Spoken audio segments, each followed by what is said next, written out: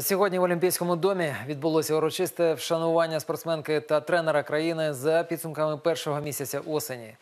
У вересні лауреатами премії стали представники спортивної боротьби, чемпіонка світу Юлія Ткач та її особистий тренер Андрій Пістун. Вихованка Ковальської школи вільної боротьби, а нині аспірантка Львівського університету фізвиховання та спорту, виграла золото мундіалю у Ташкенті у ваговій категорії до 63 кілограмів. Це п'ять безпрограшних сутичок. У фіналі в додатковому раунді Українка здолала опір американки Олени Пірошкової. Цей чемпіонат світу ще не є ліцензійним на Олімпіаду, тому мотивація захистити титул на прийдешньому мундіалі у Чикаго буде подвійною. Відзначимо, що Юлія нещодавно повернулася з декретної відпустки. Тож 12 тисяч гривень призових за звання найкращої спортсменки вересня будуть незайвими у бюджеті молодої мами. Хотів би поздоровити з народженням сина, який, я так розумію, також буде продовжувати.